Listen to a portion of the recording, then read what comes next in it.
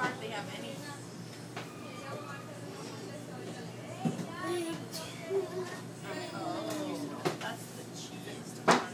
You can put that on your pizza if you want.